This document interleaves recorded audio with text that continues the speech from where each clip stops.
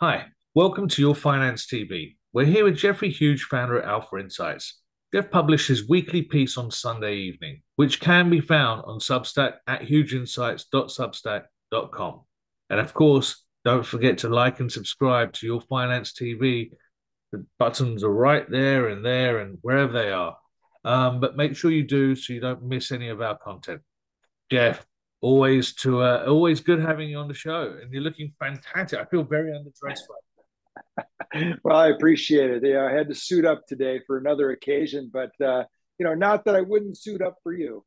I, I was about to say, I'm like, I, I, not only do I feel underdressed, but I feel quite honoured that you dressed up for me. But uh, you know, I'll, I'll take I'll take the remnants of the the special occasion. So, Jeff, as always, um, let's dive right in. There's always lots to talk about. Um, you publish your piece. Um, let's go top down as usual. Yeah, you know, uh, the S and P was up a little less than a percent last week, and uh, it was an extremely low volume rally, uh, very narrow in terms of um, uh, participation. We did see some sector rotation. You know, big earnings out of the banks. Uh, you know, kind of uh, led the financials back from the depths of despair, despite the fact that they're still down uh, significantly from, uh, you know, say their February highs, uh, not to mention their all-time highs. Um, you know, as we've said, banks are in a bear market, and uh, you're going to get, you know, some rips. you want to sell those rips whenever possible. this week, you know, um, coming into the week after, you know, looking at the data on Friday's close, you know, we feel like uh, sentiment has kind of reached an interim peak here. And uh, we think that, you know, breadth continues to be exceptionally narrow. Valuations, you know, at, at the top decile, which puts a cap on the upside. And the setup that we see in the S&P 500 is maybe the most bearish we've seen since January of 2022. That being said, uh, we've got a lot of earnings coming out this week. Um, all eyes are going to be on Netflix and Tesla, of course. Why I don't know. These, you know, our companies are like one, one and a quarter percent of the S and P 500. They continue to be thought of as being kind of market leaders. Um, you know, we're getting a bit of a recovery in in um, uh, Netflix off the lows, but you know, Tesla looks to me like it's in a great position to short. We have recommended shorting the stock. We're not recommending it specifically today in our research note, but you know, this is a name that we don't want to own. Uh, but it is a name that is reporting and it's going to have a big impact on the market. Um, obviously, we want to pay attention to everything coming out of the financial sector here. Uh, you know, Goldman Sachs this morning, uh, WIFT, uh, they uh, posted a $470 million uh, reserve that they had to take for their Marcus MasterCard, uh, the deal that they did with Apple. Um, you know, it looks like people aren't making their payments. And uh, that is a problem. I had a conversation with a guy this morning who, you know, thought credit card uh, receivables were a great place to invest. And yeah, maybe if you're buying the short duration AAA American Express, you know, you probably are going to be okay, but you're getting a negative spread to three month treasuries on that paper and a longer duration. I just don't see the point uh, you know, of, of taking that risk when we're on what I believe to be the precipice of a recession. So, you know, with that, we continue to recommend our investors uh, minimize net equity exposure, maximize cash reserves, uh, you know, enjoy the safety and and um, you know um, relaxation of being able to own three month T bills with a 5.21% yield today uh, and just enjoy the fireworks, right? Sit back and wait. You're not going to miss it. Trust me. Sit back and watch the fireworks. Well, you know, thanks for that uh, recap, and we'll we'll unpackage more as as the show develops. But um, you know, this week's piece, you dive right in, and you have that, you know, the, the gauge there, the fear and uh, fear and greed index gauge, and and it seems like we're sitting quite firmly in that, you know, greed zone. Um, what are your thoughts about this? Well, you know, um, the index closed last week at 67, but it hit 70 yesterday. You know, above 75 is extreme greed. Um, I think looking back a year ago, we were at, you know, in the 20s somewhere. Um, so, you know, kind of we've gone full circle in terms of investor sentiment. And, you know, um, the chart at the, in the lower panel kind of shows the ebb and flow of the fear and greed index over the course of the past year. And you can see we're now in, you know, kind of that, that top decile of, uh, of um, greed readings at this point. And, and while we haven't hit extreme greed, it's not a requirement, right? It's just showing that there's complacency in the market at this point. There's really just no fear, is the point. That people are willing to put risk on uh, without any sort of, uh, you know, with reckless abandon to some extent. And so, um, you know, our our thinking at this point is this is getting close to a major turning point, and you know, we've outlined it in other areas of the of the note. Jeff, we um we spoke about it off air actually a little bit on uh, the market breadth and how narrow it is. Can you talk us through yeah. this? Well, we've been talking about um, you know market breadth a lot in our work lately, and um, I guess the reason for that is because it's so important. You know, since the February second high, um, only the FANG index, the Nasdaq 100, and the S and P 100 are in positive territory all the other major indexes, be it um, the S&P 500, the S&P equal weight, um, the uh, Wilshire 5000, the broadest measure of the stock market, um, the mid cap 400, uh, the uh, small cap 600, the Russell 2000, uh, the financials, obviously all deeply negative since the February 2nd high. Yet there are people out on in, in financial media talking about a new bull market. Uh, I'm sorry, even the equal weight uh, NASDAQ 100 is negative since February uh, 2nd through yesterday's close. And so, um, you know, I put it to you this way uh, financials are still down 28%, even with a huge rally last Friday on JP Morgan's blowout earnings, which basically just beat a massively reduced estimate. Um, you know, SMID caps across the board down 10%. Um, you know, it just looks um, like there's very low participation. It's a handful of stocks. It's the top seven market cap stocks in the Nasdaq 100, in the S&P 500. These seven stocks are 51% of the Nasdaq 100 and 26% of the S&P 500, and their valuations today are more extreme than they were at the peak of the market in January of 2022 that does paint quite the scary picture. Um, and also now let's have a look at this chart in regards to the bearish setup. And and you know you're referencing January 22, but this is uh, this is pointing to you know as you say an extreme bearish setup here. Yeah, well, uh, let me put it to you this way.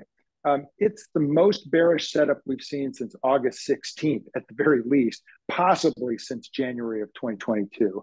Um, you know, the way I see it, the market's at the precipice of a third degree or third wave decline at three degrees of trend. Uh, we clearly see um, intermediate, or we clearly see a primary wave three decline underway right now, uh, possibly an intermediate wave three decline.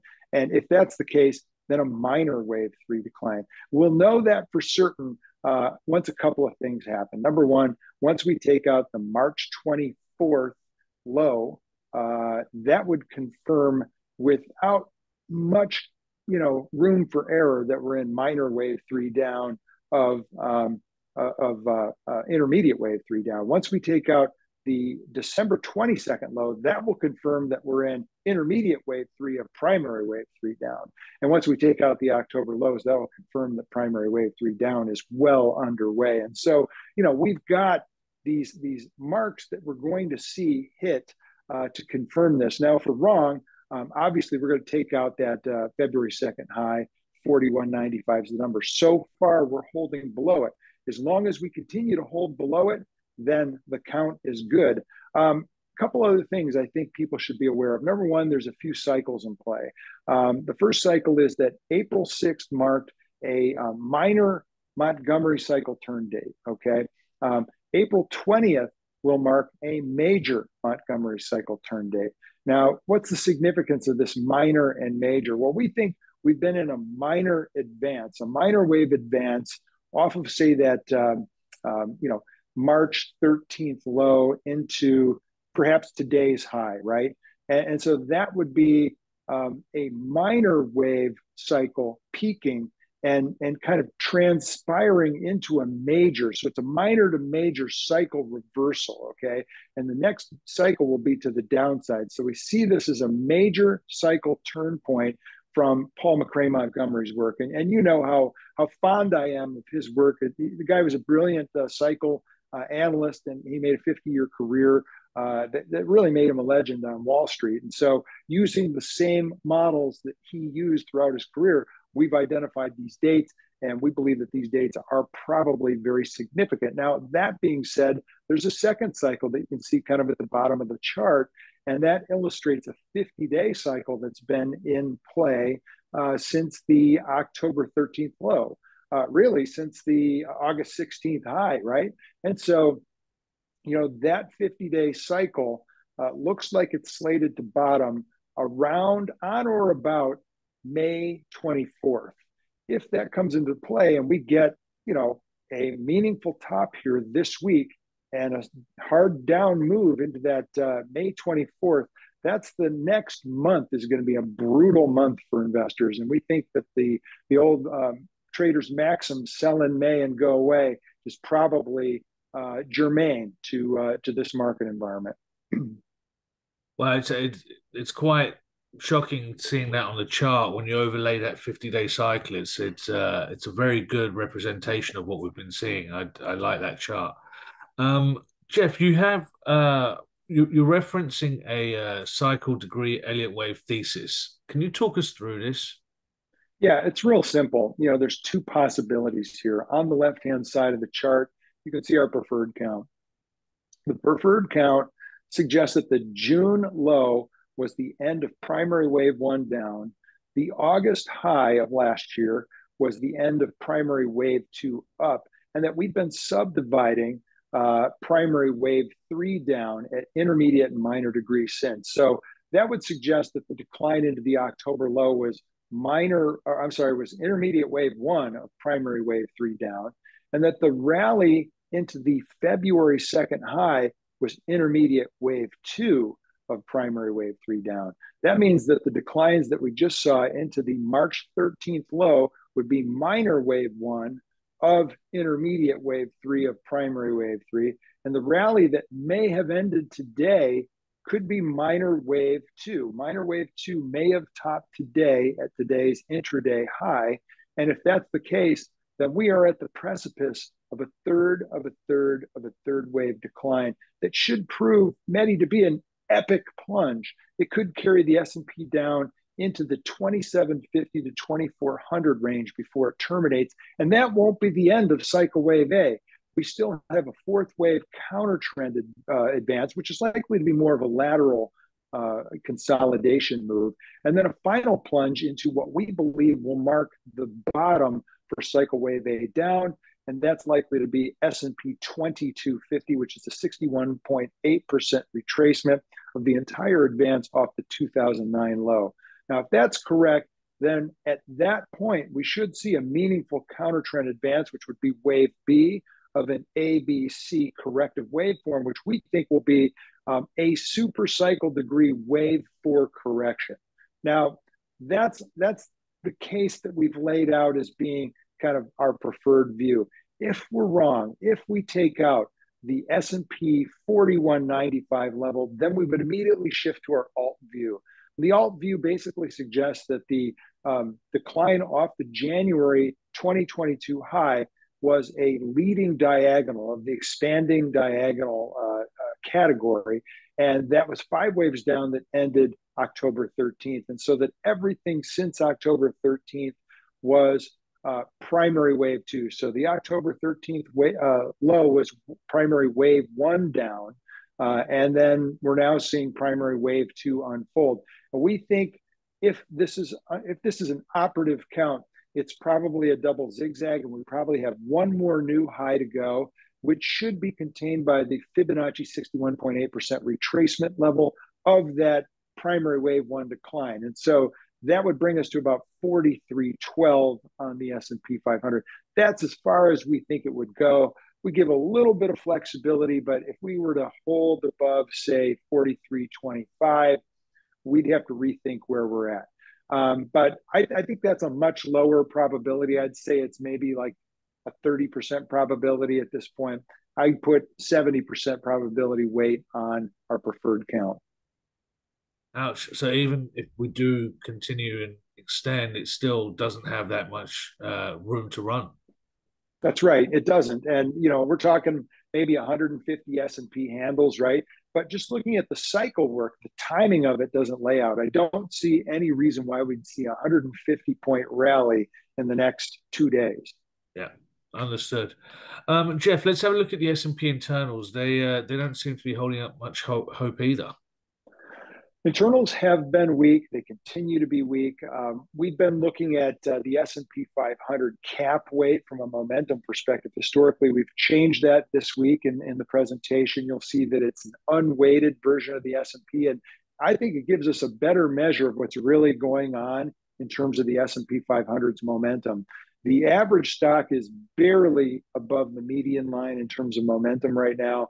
And um, you know, my thinking at this point is the cap weight index didn't have great momentum. It had okay momentum driven by the top cap weighted stocks, you know, as people really just kind of, you know, piled into those, um, you know, mega caps for safety. It was a flight to safety sort of trade to begin with. Um, but, you know, the thing that's really kind of caught our attention is the fact that the average stock isn't keeping up at all. Momentum has been very lackluster. And same with breadth breadth has been very lackluster, and same with net advancing volume. And if you take a look at all three of those, the one fact that jumps off the page is that they are all diverging negatively versus their January highs vis a vis a recovery in equity prices to nearly match that February 2nd high. And so, you know, you would think, well, if if price is going to take out its February 2nd high, then all these internals should be breaking out to new highs too. Not the case. Negative divergences oftentimes precede a major trend change, and that's exactly what we're seeing in the internals.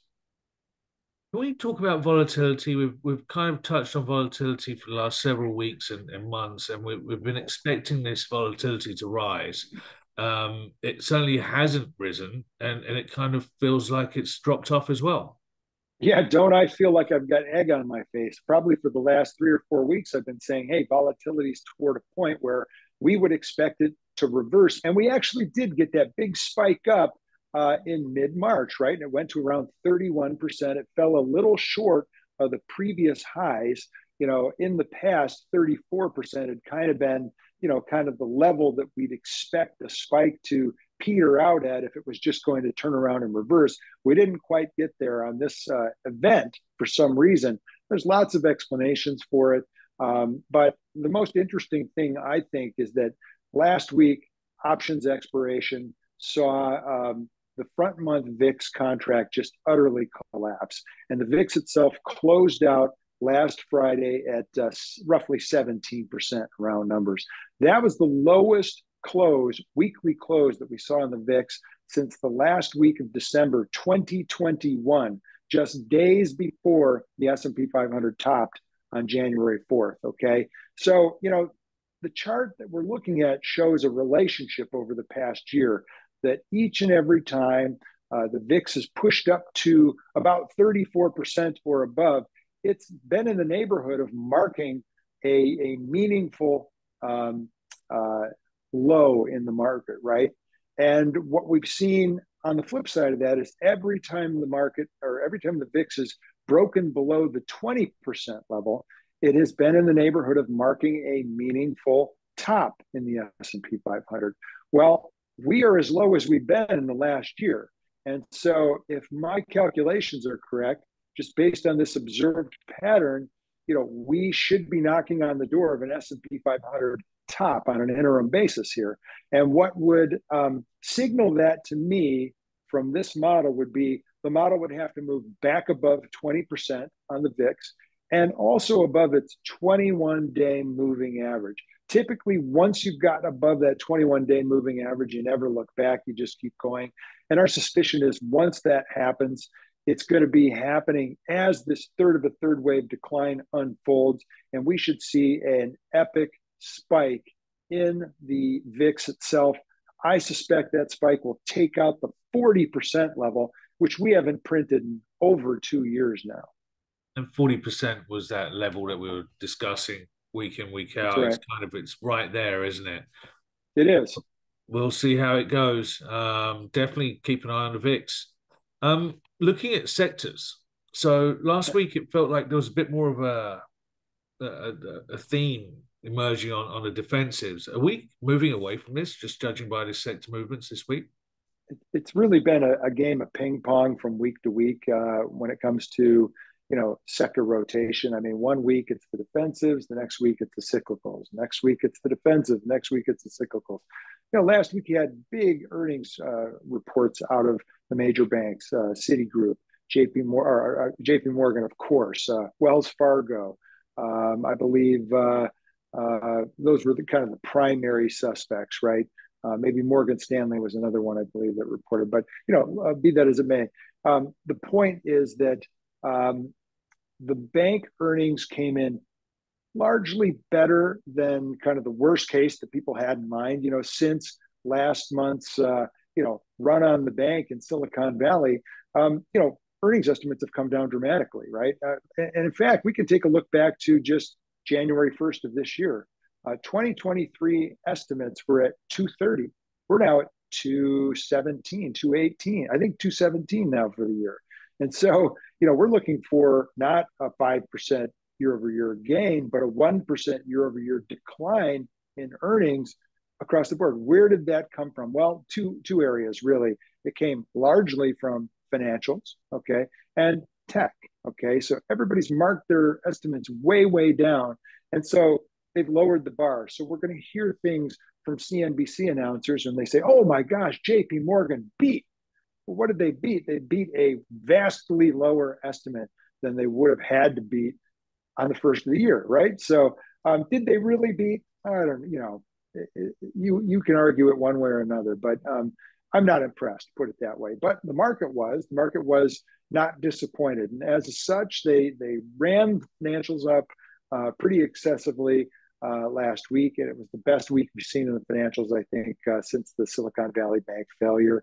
And and so that's great. You know, they're not dead, right? But at the end of the day, I think next week it'll probably be the defensives. And so if I were to be positioning based on a sector rotation basis, this is what I'd be doing. I'd be looking at energy number one. I'd be looking at uh, utilities number two. I'd be looking at staples number three. I'd be looking at healthcare number four. And, and I would even throw some technology in there. If I had to pick a single name out of technology that I like right now, I would actually have to go with Microsoft. It's the cleanest dirty shirt in the laundry basket right now. They got one thing going for them that I think nobody else can can touch, and that's Chat GPT. And I don't know what it really means for earnings, but it, it means um, they've got something, right? That nobody else has a competitive advantage for now. And, and people are willing to give them a lot of, um, you know, uh, benefit of the doubt, if you will. And so I don't care what their earnings are going to be when they report next week, uh, but whatever it is, um, the number's not going to be a disaster. And whatever it is, even if they miss, the stock's probably not going to get hit.